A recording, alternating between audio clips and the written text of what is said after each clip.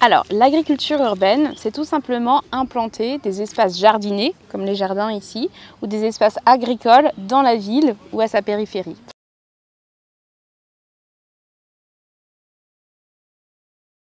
Et en fait, ce qui est particulier, c'est que la ville, n'a pas été pensée pour mettre de l'agriculture.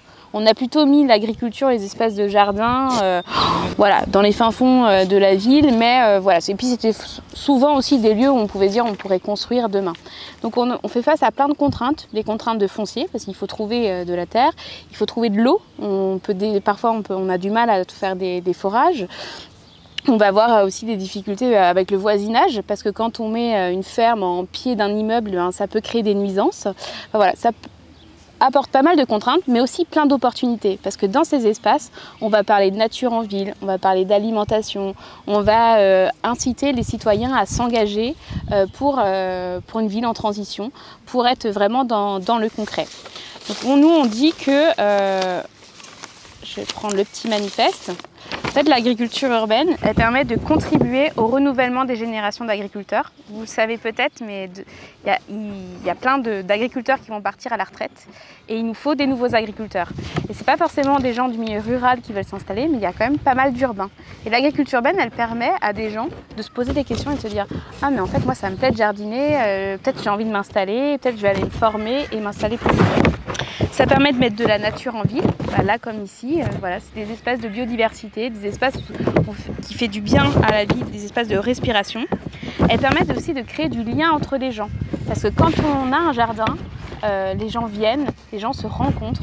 C'est pas forcément dans le palier de, son, de sa résidence ou bien euh, dans le supermarché qu'on fait connaissance avec des gens. Par contre, dans un jardin, c'est étrange, mais c'est beaucoup plus facile.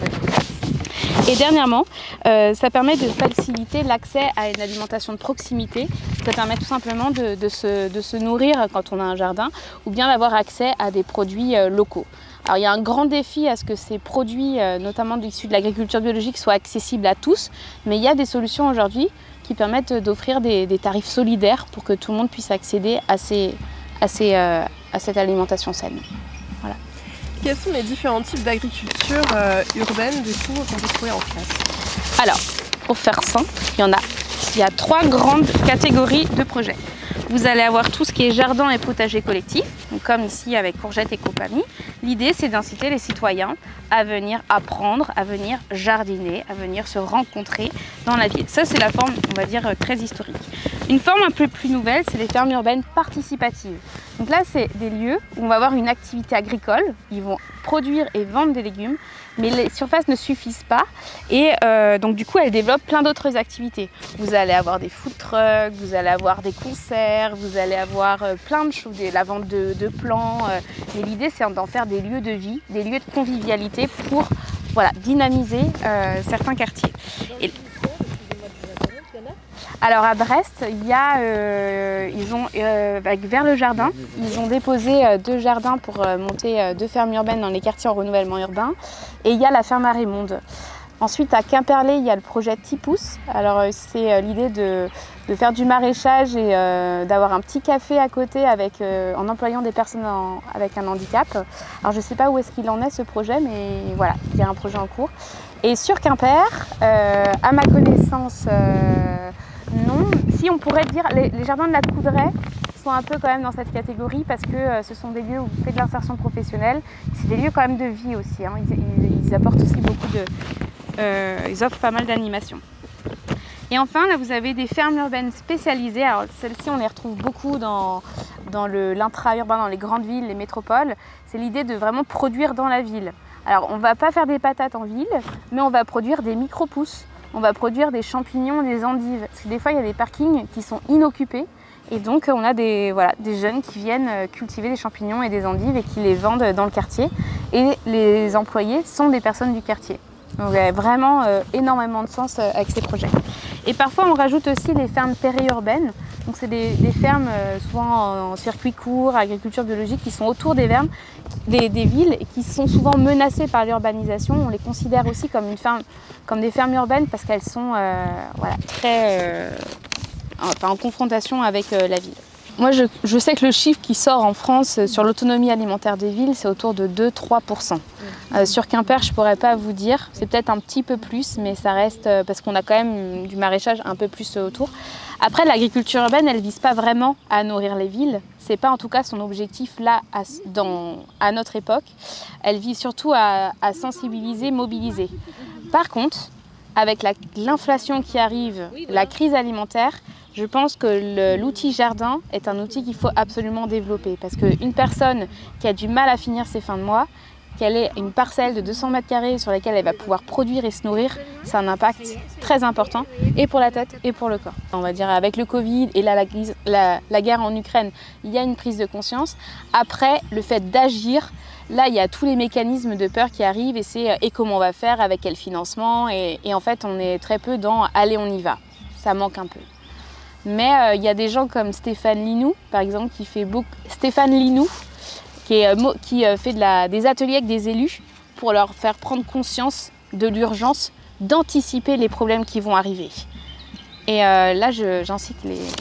je proposais en tout cas à la ville de Quimper de participer à ces ateliers pour que les amener à réfléchir à, ce qu'on peut mettre en place pour anticiper les chocs qui vont arriver dans les années à venir. C'est notamment Stéphane Linou qui en parle, c'est d'intégrer euh, l'alimentation dans les plans communaux de sauvegarde. Euh, c'est vraiment quelque chose. il y a un décret qui devrait sortir dans les jours qui viennent pour qu'ils puissent euh, l'intégrer. Et aujourd'hui, il y a un village dans le sud-ouest qu'il est en train de mettre en place. Là, euh, nous, je crois qu'on est parti pour, pour inciter le plus de villes à le mettre en place. Alors justement, est-ce que ce sont des modèles qui créent de l'emploi et dont on peut vivre? Alors, moi, l'association que, que, je dirige, là, la FOP, on a actuellement 110 adhérents. Et ces structures-là, elles embauchent des personnes. On représente 1200 emplois. Donc c'est, oui, on peut embaucher, on peut créer de l'emploi, mais par contre, ce n'est pas que des agriculteurs. Dans, dans, les emplois, vous allez avoir énormément d'animateurs, des gens qui vont faire de l'animation de jardin. Vous avez bien sûr des chefs de culture, des producteurs. Vous allez avoir aussi des concepteurs parce qu'il y a de l'ingénierie euh, derrière. Quand on doit monter une ferme urbaine avec des promoteurs, avec des aménageurs, des collectivités, il faut se poser les bonnes questions. Et là, c'est aussi des métiers.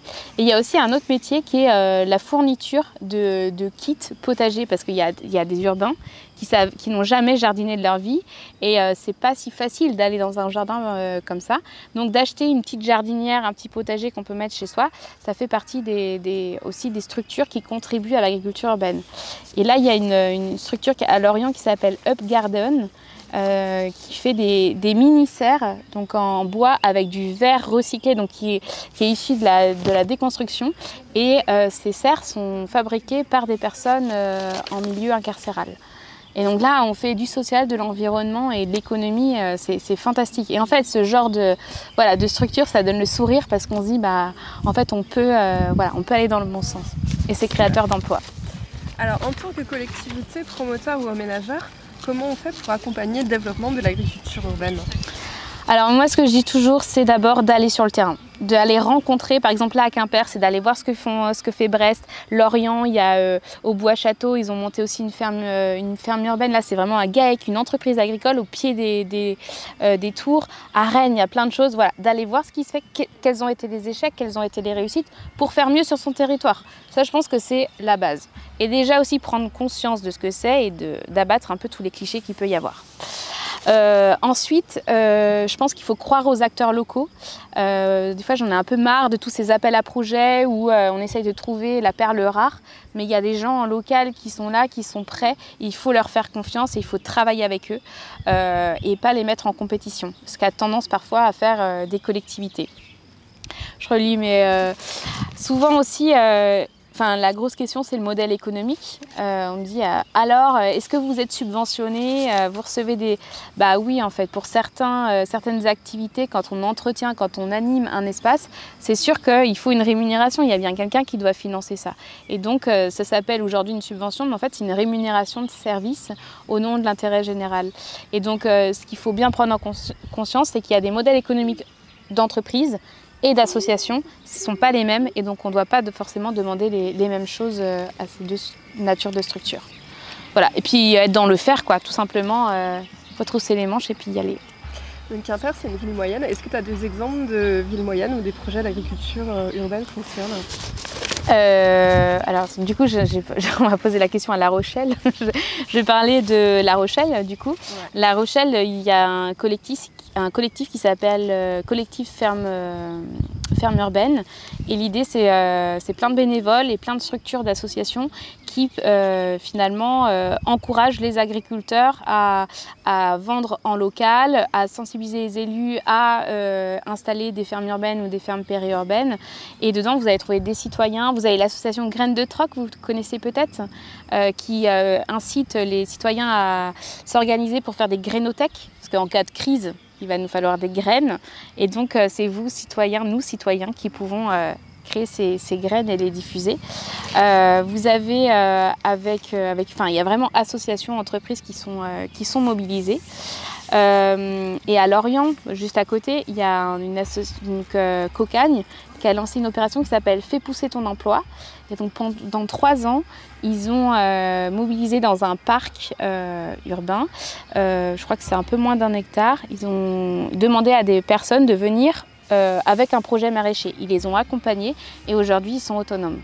Donc ils produisent des fruits. Je vous invite vraiment, c'est pas très loin, à aller voir. Ça s'appelle le Champ des Tours et c'est un GAEC. Et ils travaillent avec des restaurateurs, des associations, des tiers-lieux, des assos. dans quel quartier? Le bois château. Bois du château. Bois du château, ouais. Mm. Et c'est un, un, projet qui fonctionne très très bien. C'est très inspirant pour Quimper. Ouais. Super, on va aller voir du coup. Et euh, ah, je pensais à Moëlan-sur-Mer ah. aussi. Ils ont acquis 12 hectares à plein de petits euh, propriétaires pour installer un maraîcher et euh, la production va pour la crèche, les hôpitaux et la restauration collective. Il y a aussi systèmes de régie, de régie agricole. La ville peut très bien se dire, bah, nous, on va avoir des employés municipaux pour produire euh, de l'alimentation au service de la population. Ça, c'est quelque chose qu'on voit à Mouansartou, à Vannes, c'est vraiment en train de se, multiplier. Je crois qu'il faut que ce soit les citoyens, les agriculteurs, les élus, euh, des entreprises, des associations, on est tous euh, finalement concernés par ces questions. Et, je trouve que les, villes, elles ont quand même ce devoir d'intérêt général. Et donc, si demain, le, le, taux de pauvreté quand même augmente de manière considérable, bah oui, c'est peut-être à la collectivité, euh, c'est une question, hein, mais est-ce que c'est la collectivité qui doit prendre en charge cette thématique? Moi, à mon sens, ça doit prendre une partie euh, en sa charge. Mais après, ça peut être euh, via le soutien d'assauts local ou bien par de la production alimentaire. Là, pendant le Covid, par exemple, la ville de Nantes, ils se sont avec donc des espaces à végétaliser. Ils n'avaient pas mis en, route la production de vivaces pour fleurir les plates-bandes. Ils ont décidé de faire des légumes ils ont mis des plants de légumes sur euh, bah, tous les espaces qui devaient être végétalisés. Ils ont fait ça en collaboration avec le CCAS et les légumes ont été distribués aux personnes qui étaient en situation de précarité.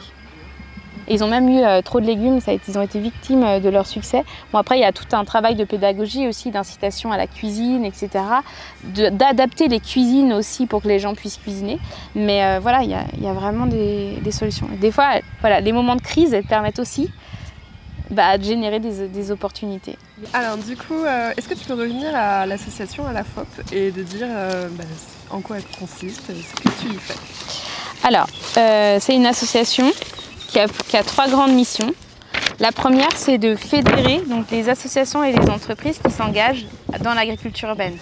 On fait des petits ateliers pour euh, partager nos expériences, euh, euh, parce qu'on a des fois plein de soucis au jour le jour, et en fait, il y en a d'autres qui se sont posé des questions, qui ont trouvé des, des solutions.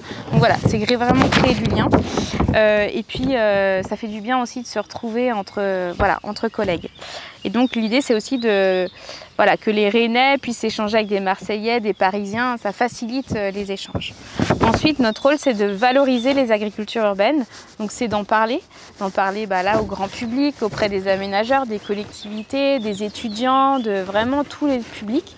Donc, on fait des formations, on va dans des salons, euh, on est très présent sur les réseaux sociaux. Euh, et on a une dernière mission qui est d'outiller les acteurs. Donc on fait des petites missions de recherche, de capitalisation et toutes nos productions, elles sont mises en ligne sur notre site internet pour que ce soit accessible à tous. Pour ça, c'est nos, trois grandes missions. Et aujourd'hui, on a 110, euh, adhérents, on arrive à 120 là. Euh, on est trois salariés, on représente 1200 emplois, c'est les derniers chiffres. Et euh, voilà, c'est à peu près 90 hectares euh, cultivés agricoles. C'est pas beaucoup, mais parce qu'on est sur des très petites surfaces. On a, euh, là c'est un chiffre qui augmente considérablement, c'est, on avait 45 hectares jardiniers, mais on a les, réseaux historiques de jardins qui sont en train de nous rejoindre dans, notre, dans le réseau. Donc on va, les chiffres vont, vont bien augmenter. Voilà. Super. Ben, merci à toi.